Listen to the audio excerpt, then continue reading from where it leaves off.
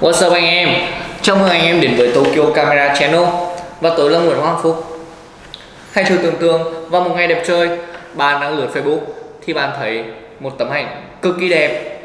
Và trong đầu bạn lại thắc mắc là Tại sao người ta có thể chụp được một tấm hình đẹp như thế?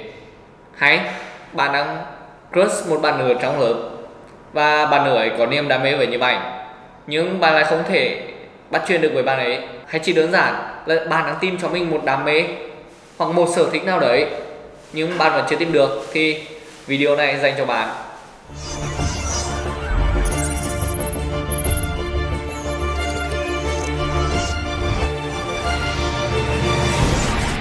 Và như đã chia sẻ ở đầu video, thì chúng ta có vô vàn lý do có thể đến được với nhiếp ảnh.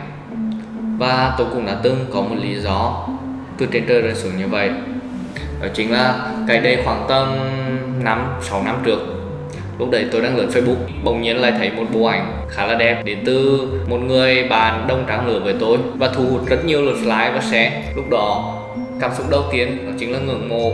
Tiếp theo đó chính là ghen ăn tự ở. Hơi xấu tính, nhỏ. Lúc đó, tôi bắt đầu suy nghĩ là tại sao họ lại có thể chụp được những bộ hình như vậy?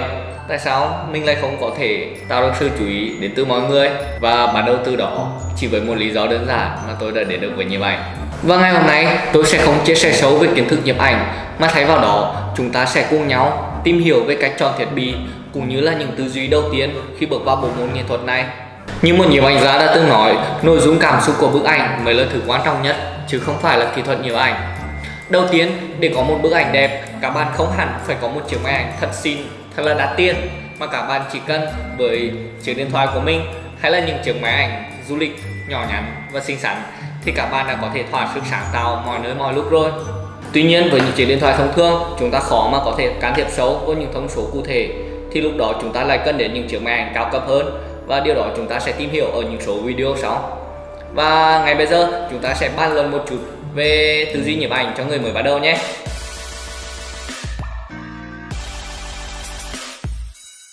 Rào cản lớn nhất trong cuộc sống đó chính là việc bạn không tự tin và trong nhiếp ảnh cũng vậy.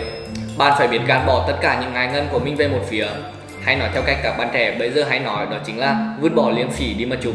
Với thời gian đâu khi mà bạn cầm máy lên và chụp ảnh phong cảnh thôi, mà bạn bị người khác bắt gặp, thì bạn cũng đã đủ đỏ mặt rồi. Nhưng dần dần về sau, khi mà bạn vững vàng tâm lý, thì việc bạn đứng sau ống kính trước rất nhiều người, thì đó cũng là một chuyện đơn giản mà thôi.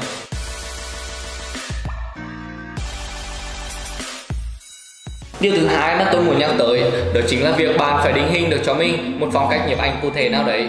Ví dụ như đường phố, thời trang, kiến trúc hay là đồ ăn. Ngoài ra còn có vô vàn những phong cách khác nữa để cho bạn lựa chọn. Hãy đừng ngần ngại mà thử một trong số đó để biết được đâu là điểm mạnh của mình và hãy làm nó thật tốt.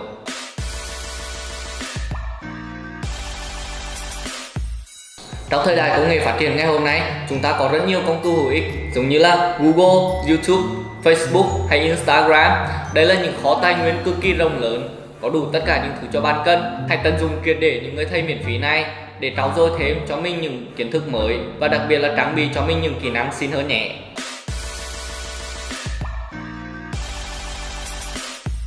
Như ở trên tôi vừa chia sẻ về câu nói của một nhiếp ảnh gia rằng là nội dung cảm xúc của bức hình mới là thứ quan trọng nhất. Khi mà bạn đã học được hết tất cả những thứ mà tôi vừa nói thì việc bạn cần làm bây giờ không phải là vận dụng một kỹ năng cao siêu nào đấy bạn vừa học được trên YouTube để chứng tỏ bản thân. Mà việc chúng ta nên làm, đó chính là cầm máy lên và đặt hết tất cả những cảm xúc của chúng ta vào khoảnh khắc chúng ta có. Và cảm xúc là những màu sắc, bố cục, chủ thể hay là vật thể ở trong bức hình tùy theo cảm nhận của mỗi người còn làm cách nào để đưa cảm xúc của mình vào trong bức hình thì hãy nhớ nhấn subscribe và theo dõi những video sau của Tokyo Camera Channel nhé. Tạm biệt và hẹn gặp lại.